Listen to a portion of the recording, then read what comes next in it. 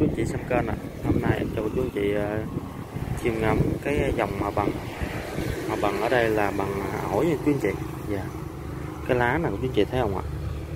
Dạ đây. Nó bầu bầu nó hơi tròn tròn nha chú anh chị. Nó khác hoàn toàn của hàng sông mình. Dạ đây. À, cao tầm ờ, uh, 8 tấc đến 1 mét đó là bắt đầu nó cho hoa rồi chú anh chị. Đây là những cái chùm hoa đây. Ừ. Và điều điểm đặc biệt nữa để phân biệt nữa là đây của chú anh chị. Bằng ngõ đi dòng Thái Lan của chú anh chị dạ đây cái bông nó trắng tinh chứ nó không có tím. Như hàng bằng sông chú anh chị. Dạ đây. Đó, cho chú anh chị chim ngắm có nhìn rõ nét nhất. Dạ. Bằng nổi gì xinh xinh. Dạ, tòng để mình gửi lại quê hương. Rồi à, mình à, có thể sử dụng là những các món kho món mắm. Dạ đây. Đây là những cái ngó đó của chú anh chị. Đó. Miễn mà của chú anh chị muốn cho nó ngao hoa thì mình có thể là mình điều tiết nó bằng cách là mình bỏ khô nó chút xíu là nó sẽ tự động ra hoa. Đó.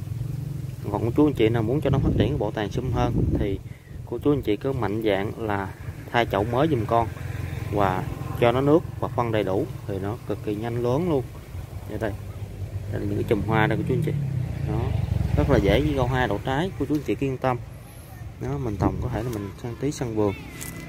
Đó, rồi những hòn non bộ cây cảnh. Yeah có nhiều cô chú anh chị hỏi con là bằng là chơi cái gì dạ xin thưa đó là tùy theo ý thích của mỗi người dạ.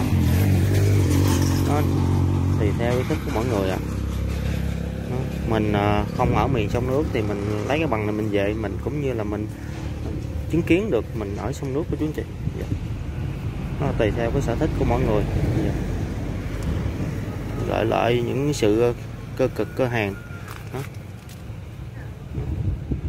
nên có được ngày hôm nay của chú anh chị dạ. cho những anh chị nào mà xa quê dạ. sưu tầm để mình gửi lại những quê hương ký ức tuổi thơ và giáo dục cho con cái mình dạ. Đó. có làm thì mới có ăn của chú anh chị dạ. cho cô chú anh chị chiêm ngắm cùng em dạ, bằng à, ổi dòng thái dạ rất là đẹp của chú anh chị ừ là những cái chấm hoa đây. Nó rất là dễ nhẹ hoa. Nó đây cô chú anh chị thấy không? Minh chứng nè bằng sông này nè là nó không bằng sông thì nó tím còn bằng ổi thì nó tắn luôn cô chú anh chị thấy không ạ? À? đây. Dạch cho luôn cho cô chú anh chị coi nè tắn tươi tắn tinh luôn. Về cô chú anh chị có thể uh, sang qua cái chậu lớn hơn. Như cái cây trước mắt của chú anh chị này nhận về đây. Của chú anh chị có thể là vô chậu 5 tấc rồi từ từ, nó lớn rồi, cái vô chậu 7 tấc 8 tấc, lớn hơn. Mình chơi. Có thể là của chú anh chị tòng để chú cảnh. Dạ. Đó. cho chú anh chị có cái nhìn tổng thể nhất. Rồi, em chân thành à, cảm ơn của chú anh chị xem kênh. Em à, xin à, kết thúc video đây kính chúc của chú anh chị nhiều sức khỏe dạ.